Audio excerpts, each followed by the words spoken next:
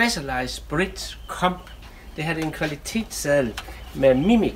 Og øh, Mimic det blev først udviklet til kvinderne. Øh, kvinderne de havde chikaner omkring skridtet, så man lavede øh, noget ladet herinde i tre lag for at opnå noget mere komfort.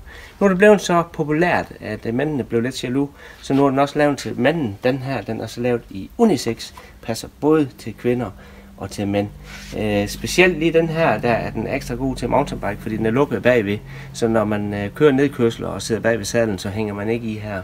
Den får sit tre størrelser, øh, og det er i 143, 155 og 168. Når den er en 143, du kan udmåle dine øh, sædknogler, det har vi også lavet en videofilm på inde på cykelbloggen, som du lige ser her, cykelbloggen.dk, øh, hvordan du gør det. Men ellers, er du under 12 cm i bredden, øh, så er du på 143. Er du over 12 cm, så er du på 155. Er du over 13 cm, så skal du have den i 168. Øh, lige en lille detalje også, som er lækkert i forhold til andre sadler fra Specialized. De har jo hullet i midten.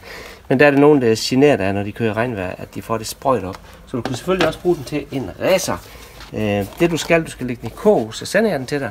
Du er også velkommen til at komme her ind til Dannevejs i Rødkro og få udmålt dine sidesnåler. Øh, så bliver det helt perfekt. Men øh, på forhånd, tak for handlen.